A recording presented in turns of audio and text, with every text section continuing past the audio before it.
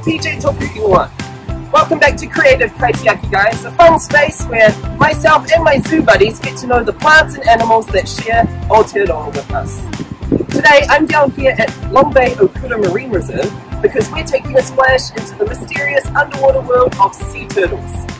Why don't you come along and explore with us?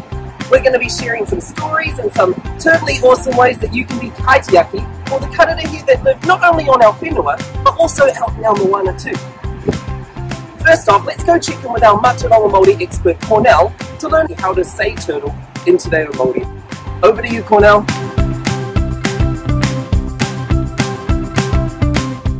Ngā mihi PJ, kia ora koutou katoa, ko Cornell Tukuri tōku ingoa. The Māori name for turtle is honu, or nu, honu. You can have a go at practicing this word at home. Kia ora atu.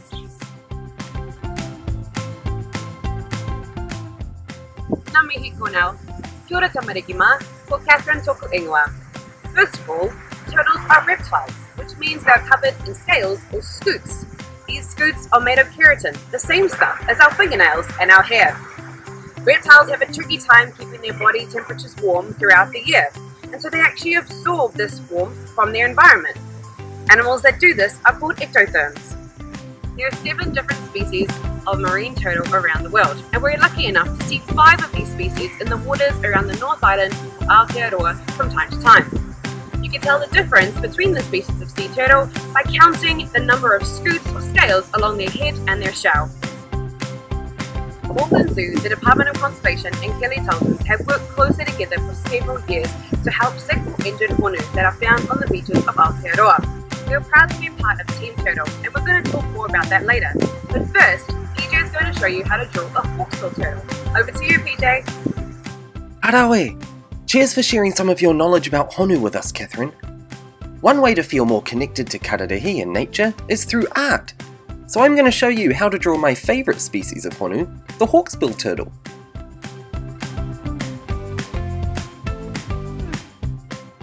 All you'll need is some paper and whatever you like to draw with. I personally prefer to use markers like this. And today, I've picked out some turtley colours, including a few different greens, orange, browns, and a black liner. But you can be creative and use any colours you like. Alright, we're going to start with our lightest colour first and map out the basic shapes of our turtle's body. We're going to start with a big oval shape that's a bit like a rugby ball to make our turtle's shell or carapace. Inside this, we're going to do a second oval, except we're going to give this one a bit of a bumpy edge, just like this.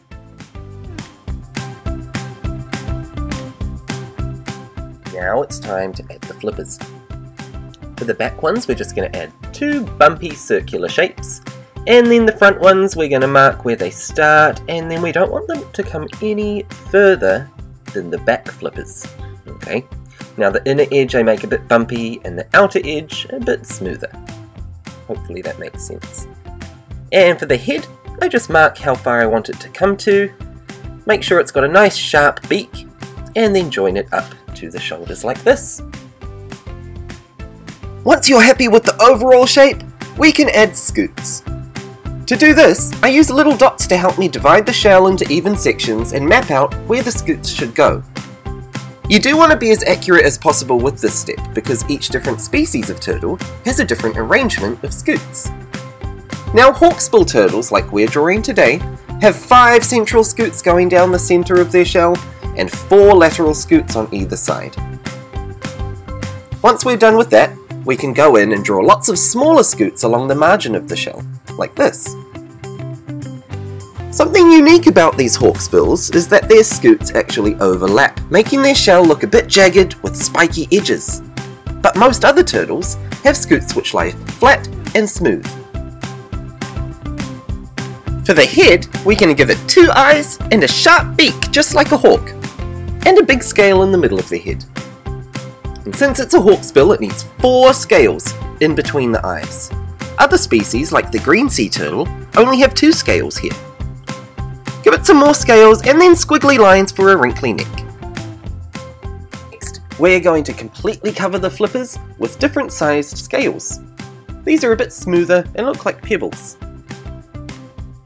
Once you're happy with the overall shape of your turtle, we can start adding some colour. Now using my brown marker, I'm going to make lots of messy, scratchy pen strokes, coming from the top of the scute and fanning out.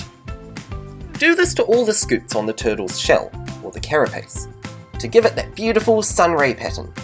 Then, take a brighter orange colour and fill in the rest of the scutes on the shell. Taking that darker brown colour again, we're going to fill in all the rest of the scales over the turtle's flippers and the head. Just trying to leave a little white edge around the outside of each single scale. Now I'm going to use my greyish and greenish colours to fill in all the space that's left on the neck and in between the scales. Now I'm doing this really rushed, and don't worry if you do smudge the brown underneath. That actually adds to the uniqueness of your turtle's pattern. In nature, patterns are very, very rarely perfect. Now it's time for my favourite part of any artwork, using a black marker to go around everything and make it pop off the page. This lets you tidy up any lines that maybe you messed up through the process, and just really helps separate all the colours and body parts so we can tell them apart. I go around all the flippers, the entire body, and in between the big scutes on the shell and the head. Then I actually take a finer marker to go in between the scales on the flippers. Can you see how much difference this makes? and you can see why we left a white edge while we were colouring all those scales too. In that same black liner, just go freestyle, adding any extra details you want.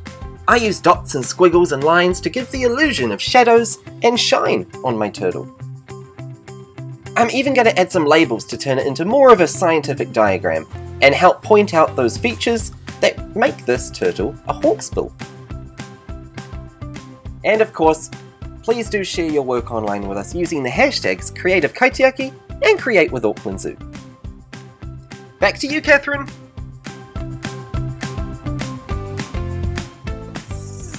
Turtles like to eat soft, squishy food that they find in the ocean. Things like seaweed, squid, and especially jellyfish. Unfortunately, there's lots of, lots of plastic waste ending up in our waterways. Plastic is made to last a really long time, the plastic in our oceans doesn't break down. Instead, it floats around on the currents. Turtles who are hungry and looking for a snack to eat might mistake the plastic for something yummy. If they eat that plastic, something as small as a rubber band could cause a lot of trouble for our turtles. It gets stuck in their tummies, and all the healthy food that they're supposed to be eating doesn't have space to go through. Now, turtles really need our help because every single species of turtle, marine turtle that we find in the ocean, is endangered or critically endangered today. Turtles occasionally visit our waters, but they should never be found on the takutai in Aotearoa, because it is not a place where they breed or lay their eggs. A turtle on the beach in Aotearoa is a sign that it is sick and weak and probably needs a lot of help. So what should we do if we find a honu on the beach in Aotearoa? The first thing to do is make sure that the area around the turtle is safe, that there are no dogs or small children playing nearby, as they might scare or accidentally hurt the turtle. Next, and this is the most important step, we need to call the Department of Conservation on their hotline 0800 DOC Hot so that they can organise for the turtle to be picked up off the beach in a safe way.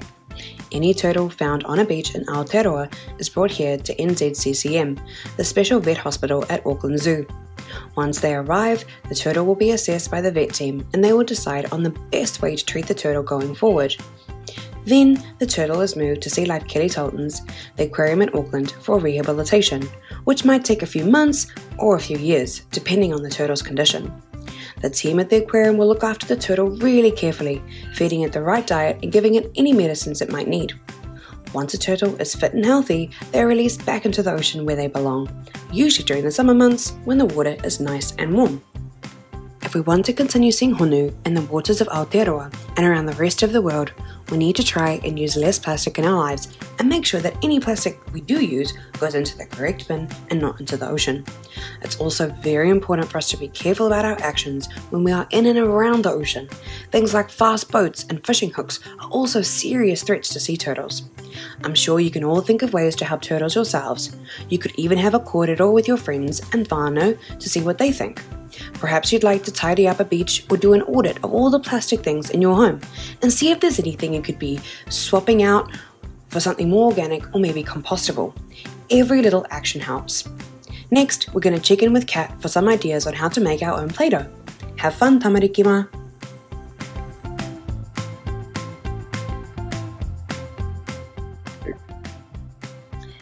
Ora, Catherine and PJ. That's really important messaging you've done there, and it's given me something to think about and how I can actually help protect our marine turtles here in Aotearoa. Now, when I go to the shops and when I'm buying toys, quite often they come wrapped in plastic, or they might even be made of plastic. So I've been thinking about what I could do at home to make one of my favourite toys, Play-Doh, and therefore I don't have any of the packaging. And I'm going to make this using ingredients that you can find in the kitchen, uh, nice and easy, and also it smells really, really good. So here are the ingredients that you'll need for your no-cook Play-Doh. Two cups of flour, half a cup of salt, one cup of hot water. You might need a little bit of help getting this. Two tablespoons of cooking oil, and 2 tablespoons of cream of tartar. You can also add some food colouring to this, or what I have done is I am adding some jelly crystals, and the flavour I've gone for is chocolate so that my Play Doh smells like chocolate. But the jelly crystals will also add colour to your Play Doh. Our dry ingredients first, starting with our flour, the 2 cups, and the half a cup of salt. Give those a good mix around just so it's nice and evenly spread throughout. Next, we're going to add our two tablespoons of cream of tartar. Now I'm going to add the jelly crystals into it and we're going to give all these dry ingredients a really good mix, making sure those jelly crystals can be seen evenly spread all throughout the dry mixture. I'm now going to make a well in the middle of the dry mixture to pour my wet ingredients. You could use the back of the spoon or your fingers to do this. I'm now going to take my oil and add two tablespoons of it to the middle of my dry mixture, right into that hole, that well that I just made. Next, take that hot water, that one cup of hot water, and add that to the bowl as well. Now I'm going to mix my wet and dry ingredients together. To begin with, I'm going to use a spoon just to incorporate them together, but after a little while, I'm going to use my hands to smush it all together and to knead it. If after a while you still think that your Play Doh is sticky, don't stress. Actually, leave it for a little bit. Leave it for about 5 to 10 minutes. You can either leave it on the bench or even pop it in your fridge. You'll find that once it's cooled down and once it's started to absorb, that it will actually be a great consistency to play with. If you are still worried that it's still sticky though, after that time, you can add a little bit more flour. Or if you think it's too hard and you can't make shapes that you want to, you can add a little bit more hot water to it. Just sort of see how it works for you. And there you have it, our beautiful, smelly, no cook Play Doh, plastic free. Well, now the best part of making Play-Doh is actually getting to play with it. You might like to use different cutters, or you might even like to make a habitat for our marine turtles. You might put in there their favorite food source, which are jellyfish, which does look a little bit like plastic. Now, after you have finished playing with your Play-Doh, just make sure you pop it in an airtight container so that you can have many more hours playing with your Play-Doh. So next time you are out looking at toys or thinking of buying something, and you see that it's wrapped in plastic or made of plastic, just be a creative kaitiaki and think, can I make this at home? how can I help protect our marine turtles?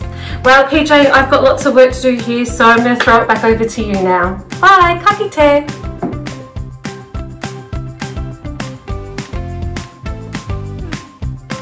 Hi again. Thanks for joining us to Korero about Honu today.